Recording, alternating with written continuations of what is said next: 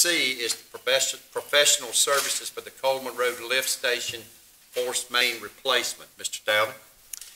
Yes, sir. Lowndes County received a proposal from Level Engineering for the engineering construction plan preparation for Coleman Road Lift Station Force Main Replacement. Uh, Coleman Road Force Main is in need of upsizing and replacement.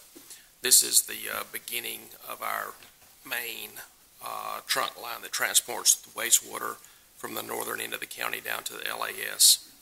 The fees will be nine percent of construction. Okay. Any questions for Mr. Stalvey? Hearing none, I'll entertain a motion. I move we approve. Do we have a motion then to approve the professional services for Coleman Road Lift Station Force Main Replacement? Do we have a second? Second. We have a second. Any discussion? Hearing none, I'll call the vote. All in favor signify by aye. Aye. Any opposed, like sign. Hearing none, the motion carries.